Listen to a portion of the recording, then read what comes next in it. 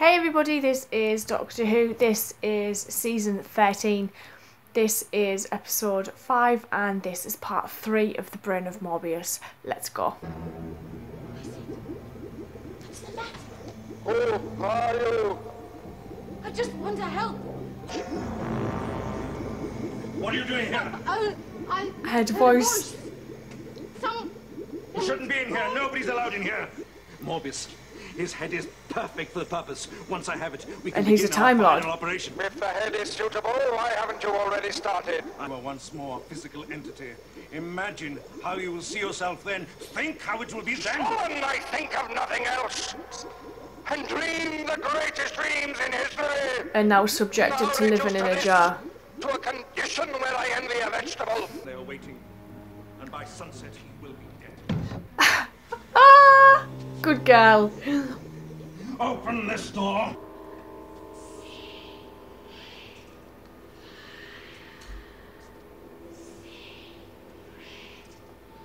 Enchanting is actually quite creepy and unnerving and From I don't sacred really flame. like it. You have been granted the gift of eternal life. That was the last.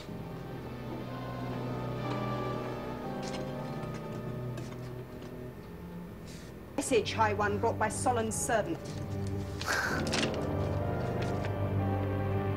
The doctor's coming. The doctor is returning. Be ready.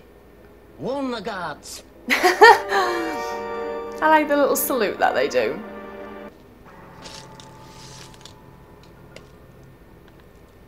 Ding dong. I need some of your elixir. At last you Still can wearing Not the for net. myself. Sarah was blinded by the ray from your ring. I need the elixir to restore her sight. Hey, well, thank you, ladies. That's really all I cared about. You have been condemned to Oh, die. I'm not going through all that again. If I wanted to steal from you, would I come in through the front door? Morbius was a Time Lord. Name again. I tell you, I saw his execution. I saw his body placed in the dispersal chamber. The army he brought to Karn was the scum of the galaxy. He promised them the elixir of life and immortality. Morbius betrayed our secret. Innocent. Until proved guilty, those spaceships might just be passing. No, if I'm going to help you, I must insist upon one thing. Stop doing it. Wrecking of spaceships has got to stop. Oh, Go. Pretty. Condo like. bloody oh, hell. Yeah, but he's not the doctor I've without only it, to is raise he? my finger for you to be put to death. But I'd be no use to you dead, Maren. Rise outside the sisterhood.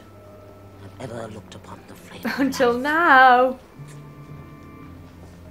Heat from the flames causes oxidation of the chemicals in the rocks. And then, no doubt, a chemical reaction with rising superheated gases as you have your elixir. Ah, Death is the price we pay for progress, you know. You speak in riddles, Doctor. The Time Lords were glad enough of the elixir. Only in rare cases. I'm just gonna do this. What is that? Bear with me one second. Demon.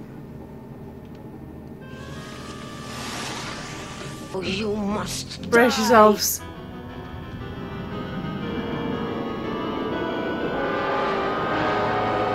Don't think our young guest is going to escape again. No, that's some knot system you've got going on there. Health guy. Well, Condo, perhaps I'll give you your hair as a memento. You're insane, Solon. You're mad. Oh, no, I'm not. That's what they said. It only needs the head, Nelly.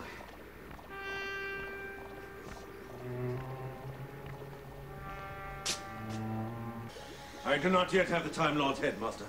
What do you mean? He hasn't came back. Time Lord. The Doctor. The Doctor is a Time Lord. That is why his head is so perfect. I know the Time Lords. Pallid, devious worms.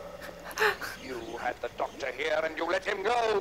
Do anything to get what I like they both want. You must get me away from here before they arrive. I can't. The support cell can't be moved. I'm dislocating the neural centers. But You can genuinely brain believe that. Yes. Philip Madoc in this, like his performance is so good. Like you believe everything he said. There it is. No! It can't be done, Morbius! There would be severe pain. There would be se seizures. Just totally. Oh.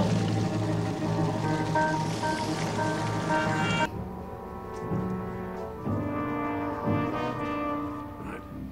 Want to start the operation? Oh, God, how precarious. Should have got some Houdini lessons from Pertwee and should have been absolutely fine.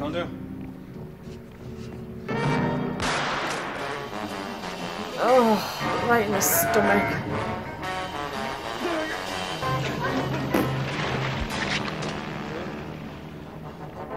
You cretin!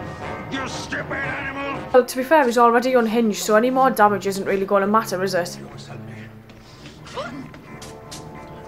The last thing you do. The music's like something from a Hammer horror.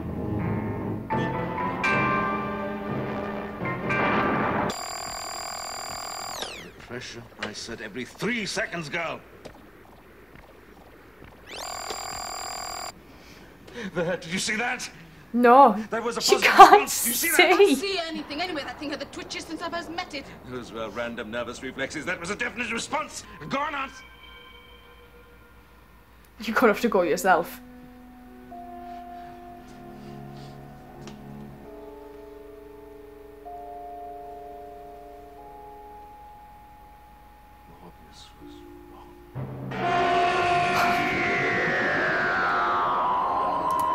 What I really like about this story is the whole kind of um, Hammer horror vibe that it has going on.